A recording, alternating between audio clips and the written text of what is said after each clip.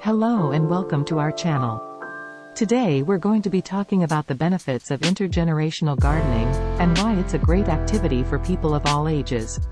First of all, what is intergenerational gardening?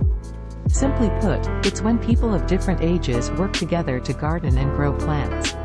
This can be grandparents and grandchildren, parents and children, or any combination of generations.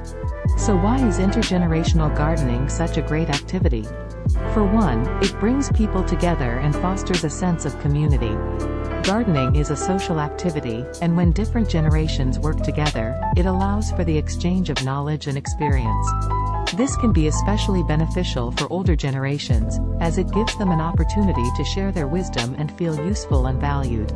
Intergenerational gardening also has numerous physical and mental health benefits. Gardening can provide a low-impact form of exercise, and being outdoors in nature has been shown to improve mood and reduce stress. Plus, the sense of accomplishment and pride that comes from growing and harvesting your own produce can be very fulfilling. Another great benefit of intergenerational gardening is that it promotes environmental awareness and sustainability. By teaching younger generations about the importance of growing their own food and taking care of the earth, we can help to create a more environmentally conscious future.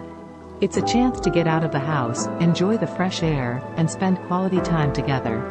So there you have it, just a few of the many benefits of intergenerational gardening. If you're looking for a fun and meaningful activity to do with people of different ages, give gardening a try. You'll be surprised by how much you can learn and grow, both literally and figuratively, from this rewarding experience.